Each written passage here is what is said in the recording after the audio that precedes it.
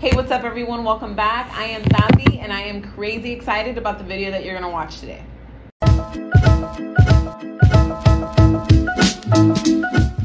So everyone out there wants to know what's the difference between all these gel brands and is there a best gel product? And honestly, I wanna know this too. I've been using Gelish as my base and top coat for every single one of my manicures for about 10 years and I can depend on it. It is super durable. I have manicures that last five, six weeks at a time. My clients have minimal issues with chipping, if at all. And it's always just been something that I can count on. A couple of things that I do encounter, really one big thing that I do encounter with the Gelish is that it does stain kind of easily. Not all of my clients experience this. It does depend on the products that you use for your face, for your hair, makeup, and also sometimes clothes. But I do notice that clients have an issue with staining. Sometimes in the gel, just it stains easily. And it's a little bit of a pain in the ass to clean. Most of the time you can't really clean it uh, unless you're like buffing it and repolishing your nail, which we really don't want to deal with between manicures. So in me trying to figure out whether or not I can find a top coat that doesn't stain, I figured that I should just undertake a super huge mission right now, and that is to try every single product out there. We're talking the big popular brands like OPI, DND, Perfect Match,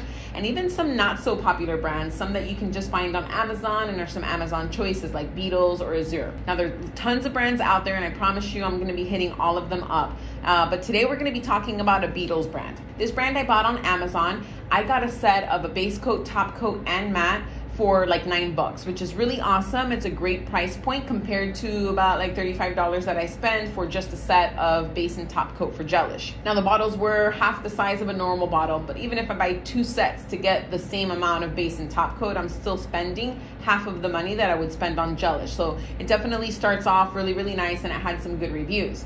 Now, what I'm going to be looking for in this review and in every single review that I'm doing for you and presenting is looking at very specific things. Number one, consistency of the gel. Is it easy to work with? We're talking is it too thick, too thin, just overall consistency. Number two, is it nice and shiny when the manicure is done or does it, you know, not shine as much as another brand? I'm looking at durability of the gel. Am I able to count on this manicure to hold up to our daily tasks for at least two weeks or more? Definitely checking out to see if it's stain resistant or stains easily. Does the brand of gel color that I use with the product affect its durability and wear? And overall, how does the manicure look after the two weeks in general? For me to get an accurate review and for me to feel comfortable in the results that I'm looking for, I'm trying this out with three different clients, all using three different brands of gel colors. I do have a lot of different brands in my shop. I'm not someone that really likes to stick to one thing because let's face it, one brand isn't really going to give me all the variety that I want. I maintain 250 colors in my shop pretty much at all times, and every brand just has a little bit something to offer that one's not going to have available. So I really want to make sure that these products are working with any brand because I'm not trying to buy specific base and top coats to match the products that I'm using for the color. So let's dig into these manicures that I did, and first we're going to start off with first impressions in using the Beetles. All right, guys, for this manicure, we're going to be trying out Beetles Gel Polish, Top It Off, and Foundation. Actually had really good reviews on Amazon.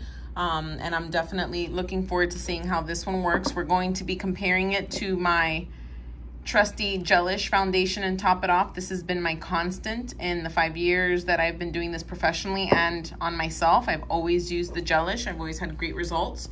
So we're gonna try it out. We're gonna be doing this with the DND polish. And I'm trying out different brands of colors because I want to make sure that these base and top coats can really work with whatever colors we have, especially when we have so many different brands. So let's get to work. We're gonna do this hand beetles, base and top, and then the other hand gelish.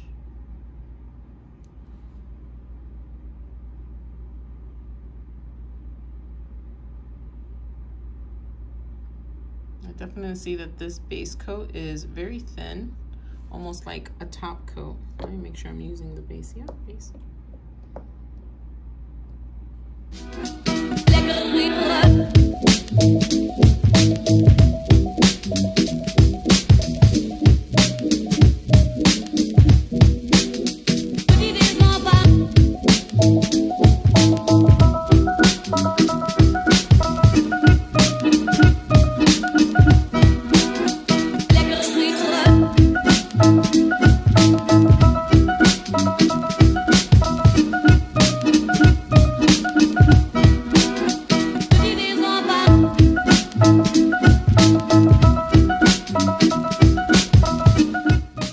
Quality of the gel was really nice. The polish color uh, went on very smoothly. It didn't run or streak. Very nice. I feel like I got a really good shine on both of these manicures. Let me get some of the oil off of this one. Yeah, it looks really good. The shine looks pretty even. I might say that the gelish looks a little bit shinier right now, but maybe. But they're looking really good. I can't wait to see how this one looks in two weeks. So this first manicure, we used a DND polish. The next manicure for this client, we used an OPI polish. Uh, it looks super beautiful, super clean. I would say it's looks almost identical to the gelish, maybe a little bit shinier, but that could just be me. And for my third client, I use a perfect match color, also looking super beautiful in first impression and very shiny. Again, maybe even a little bit shinier than the gelish. Now, as you can see, the client had one hand with the Beetles product and the other hand was our control, what I always use the gelish, what I know I can count on. I really wanted to make sure that we can truly see the difference in the same manicure. Two weeks later. All right, so I had these clients wear these nails for at least two weeks and all of them have their different functions. I have one client that was moving and getting stuff done, so it was perfect. I really wanted to see overall durability and not just the perfect two weeks to make sure that I'm getting a really good result and a really good look at what we should expect with this Beetles brand. My first client with the DND polish had no chips, uh, it wore really, really well. It actually even seems that the Beetles stayed a little bit shinier. And the big difference that I noticed was that there were no stains on the hand that we used the Beetles base and top coat versus the gelish, which is really, really awesome. And that's really what I'm looking for is something that is as wearable and long lasting as gelish, but that can help me eliminate the possibility of these stains for my clients. So for my next client with the OPI color, she is definitely not someone that doesn't use her hands. She's super hands-on, does a lot of cleaning, and her manicure, like always, came back absolutely perfect. Um, I definitely noticed that the Beetle side was a little bit shinier and had no stains whatsoever compared to a slight discoloration in the gelish hand. There were also no chips, no lifting, so overall, again, really, really happy with the wear on this client's nails.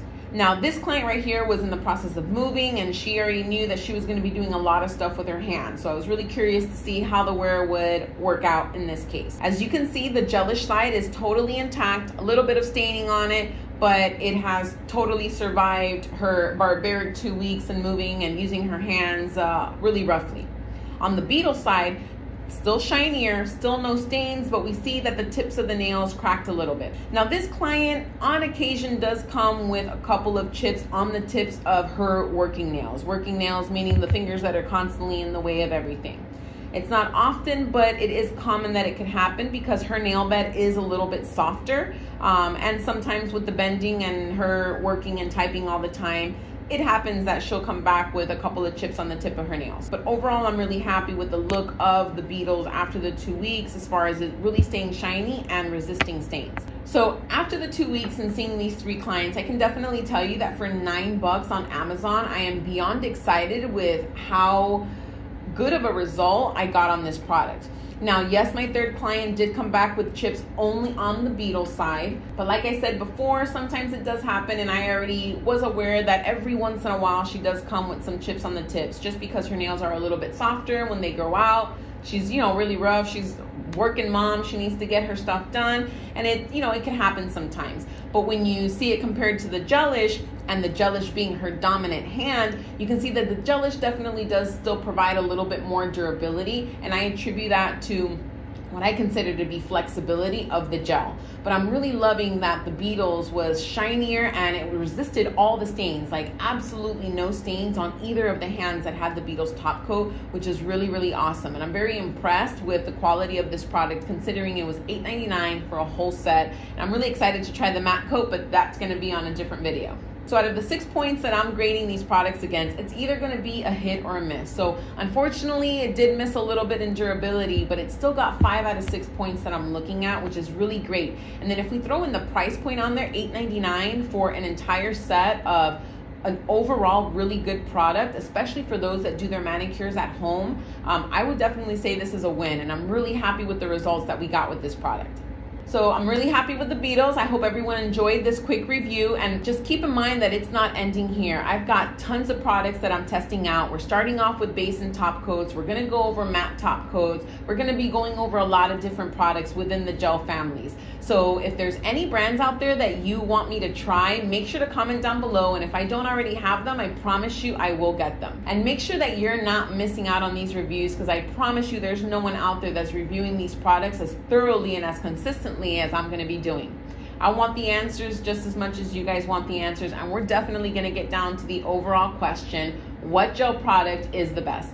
So thank you so much. And remember, make sure to subscribe and like down below. Hit the bell icon because with these reviews coming in, it is definitely something you don't want to miss. I look forward to seeing the comments and I look forward to testing out all these products. I'm crazy excited and going absolutely mad buying a bunch of stuff, but I absolutely love it. So thanks everyone for tuning in. I'm super excited to see you guys on the next one. Bye.